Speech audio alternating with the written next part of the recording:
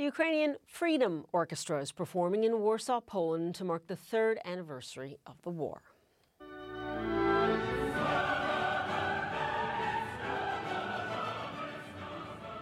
So beautiful. That's Beethoven's Ninth Symphony and the EU's official anthem.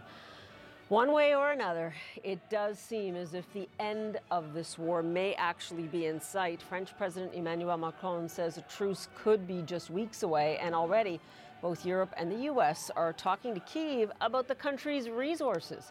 Ukraine is potentially a rich source of minerals like lithium, graphite, and nickel.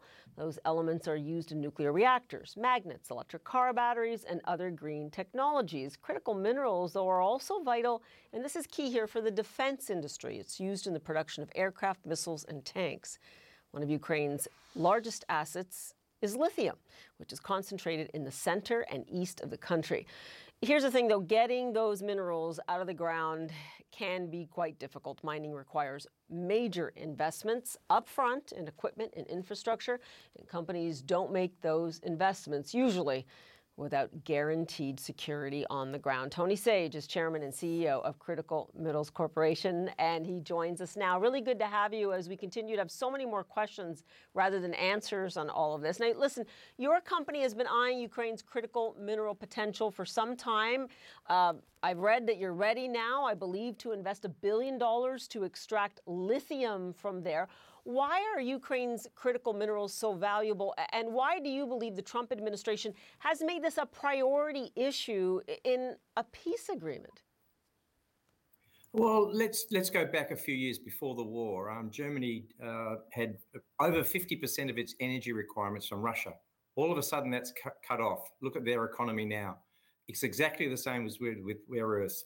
China controls 97% of the world's rare earths. Now, you don't want that concentrated in any mineral or even any commodity for one country, especially a country that could be in conflict with the West. So, the critical minerals that are in Ukraine are essential to, ex, uh, to be extracted for the benefit of the West. And yet we haven't seen the so-called West really do much about it. Uh, you've seen the potential of critical minerals in some countries get completely squandered by whether it's regulation, lack of capital investment. What would be different in Ukraine, especially given the obvious, right? There are security problems on the ground, and those will be there even if there is a truce with Russia. Uh, yes, look, I, I, agree with that, but uh, you've got to start somewhere. So tell now, me why you don't you know, agree then. Like but you, go ahead and disagree. Tell me why you don't agree with that.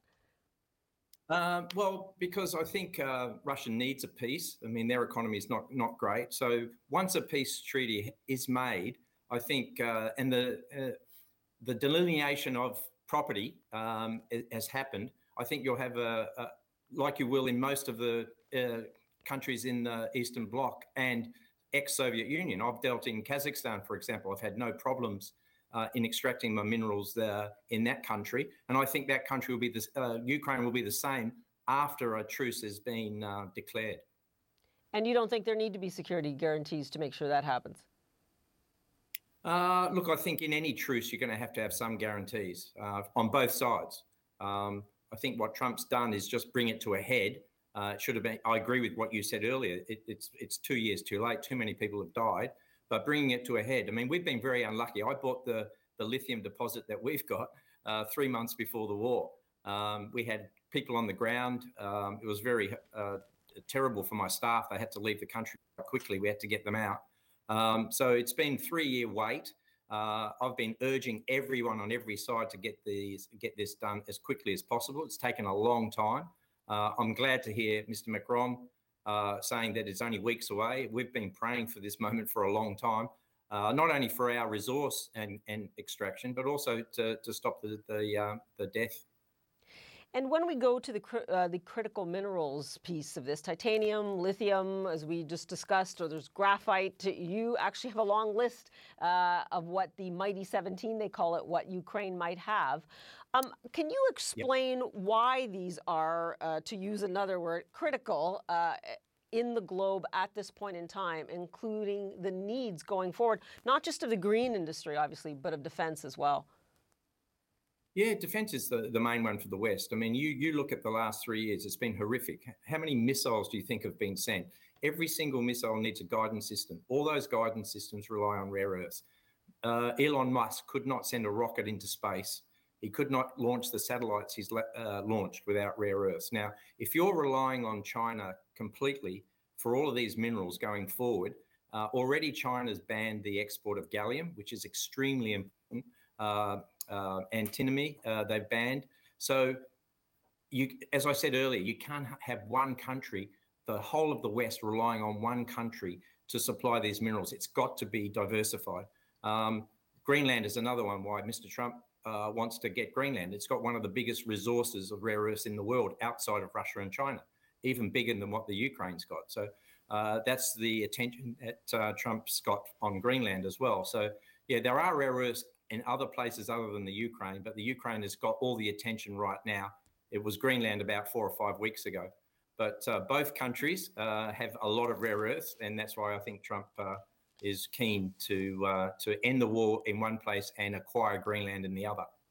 Uh, you've explained a lot to us in there, and I'm glad that you brought up the issue of Russia. Listen, I only have about 30 seconds left, but Putin claims, listen, yeah. why leave Russia out of this? He says, claims to have 10 times of everything Ukraine has. Would you see them as a reliable partner going forward? No. Um, I think, well, under the current regime, no. I mean, he's proven uh, twice now 2014 with Crimea and uh, 2021 with uh, Ukraine. So they can't be trusted, nor can China.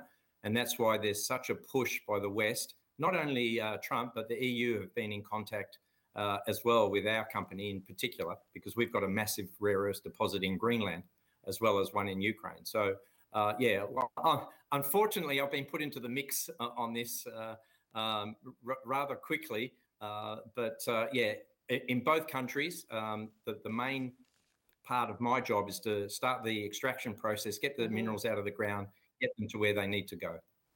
As ASAP, I'm sure. Well, uh, Tony, your misfortune is our fortune. We appreciate you being on the show and really hope to speak to you again as we continue to follow this story. Thanks Great. so much. Been fantastic, Paula. Thank you. Bye bye. Take care.